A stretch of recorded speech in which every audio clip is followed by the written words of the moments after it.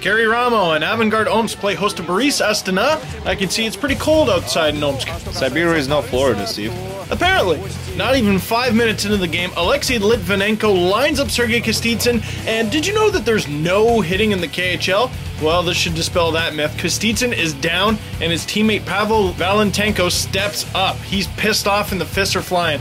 Valentenko played four seasons in the AHL and was always known for his toughness. It doesn't surprise me he took no time to throw the mitts off. Both get five minutes for fighting, and on top of that, Valentenko gets a minor for roughing and a 10 minute misconduct. Kostitsyn turned out to be okay after the collision and returned to the game.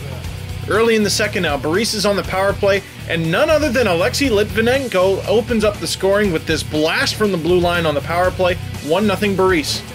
Halfway mark of the game, Avangard's looking for a tying goal and they get it here. Igor Volkov shoots it, Teemu Lassila saves, rebound, and Matti Kuparinen nets it 1 1.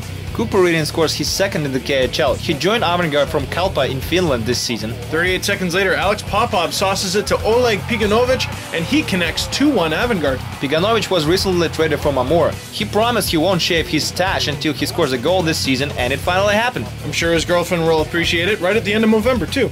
Almost halfway through the third now, Barys is on the power play. Roman Starchenko shoots it from the blue line, and it's in. We're tied at twos. Dmitry Upper tipped the puck on its way, and he gets credited with the goal. That's his eighth of the season.